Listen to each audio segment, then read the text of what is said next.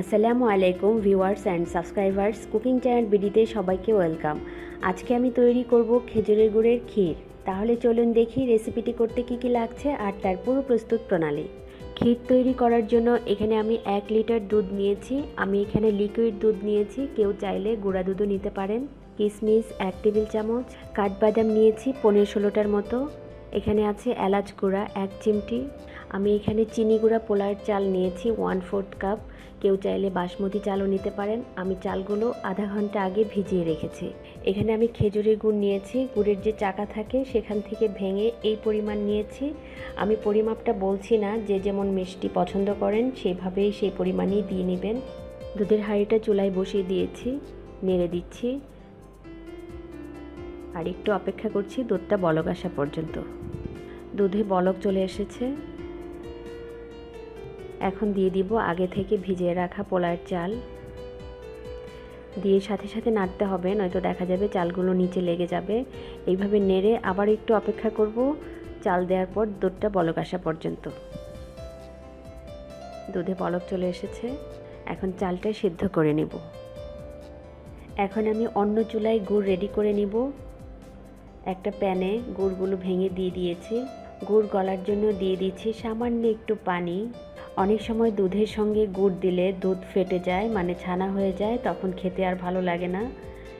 গুড় আলাদা জাল করে নিলে সেই ভয়টা আর থাকে না। এইভাবে আমি গুড়টা খুব ভালো করে জাল করে নিব। গুড় জাল হয়ে গেছে, এখন আমি ঠান্ডা করে দুধে মেশাবো। এদিকে দুধটাও শুকিয়ে অনেকটা ঘন হয়ে আসছে। চালগুলো প্রায় সিদ্ধ হয়ে গেছে। দিয়ে দিচ্ছি কাঠবাদাম বাটা, নেড়ে দিচ্ছি, দিয়ে দিচ্ছি এলাচ গুঁড়া।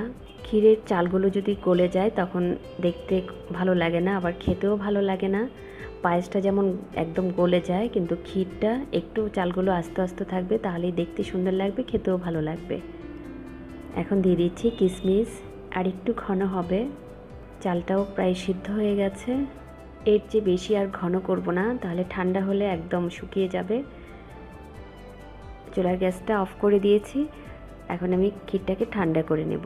এদিকে আমার ক্ষীর ঠান্ডা হয়ে গেছে, গুঁড়ো ঠান্ডা হয়ে গেছে। এখন আমি গুড়টা ক্ষীরের মধ্যে ঢেলে দিচ্ছি। চামচ দিয়ে ভালো করে মিশিয়ে নিতে হবে। কালারটা কতটা সুন্দর হয়েছে দেখেন।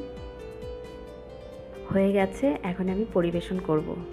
এইভাবে রাতে রান্না করে রাখলে শীতের সকালে নাস্তার টেবিলে মুড়ির সঙ্গে ঠান্ডা ক্ষীর খেতে খুবই ভালো লাগে। তৈরি হয়ে গেল নতুন গুড়ের ক্ষীর। কতটা মজা হয়েছে আপনাদের সাথে শেয়ার করতে পারছি না। তাহলে আপনারা ঘরে তৈরি করবেন আর কেমন হয়েছে আমাকে জানাতে ভুলবেন না। ভালো লাগলে লাইক, কমেন্ট ও শেয়ার করুন। আর অবশ্যই আমার চ্যানেলটি সাবস্ক্রাইব করুন। নতুন কোনো রেসিপি নিয়ে আবারও কথা হবে। সেই পর্যন্ত সবাই ভালো থাকুন আর আমার চ্যানেলের সাথেই থাকুন। আল্লাহ হাফেজ।